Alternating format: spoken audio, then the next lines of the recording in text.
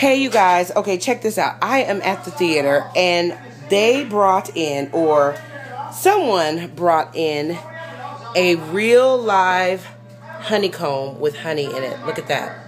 And obviously, they um, harvest bees or whatever it's called. I don't even know what it's called. um, and the sign said, "Skinny Farm, Skinny Kitty Farms, first honey of the season. Enjoy a spoonful." And we have been like tasting it, and it's awesome. But look at that.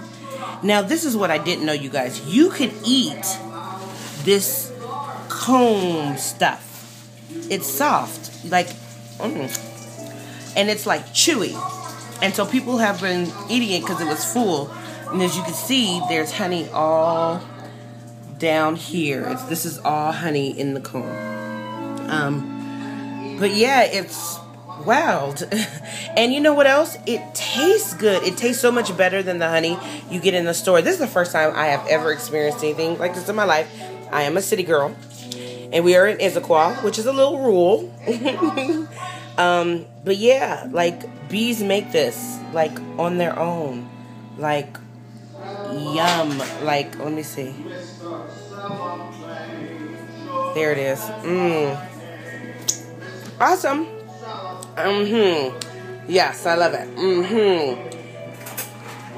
Are you gonna taste some? Oh, we have someone coming to taste it. He's gonna taste the cone.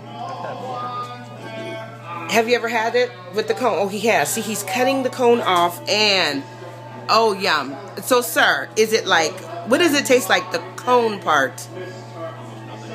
Almost nothing. Wax like. I can't believe that it's edible. Oh my god. But it's awesome.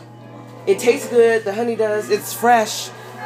All right, y'all. This is Honey on the Cone right here at Village Theater.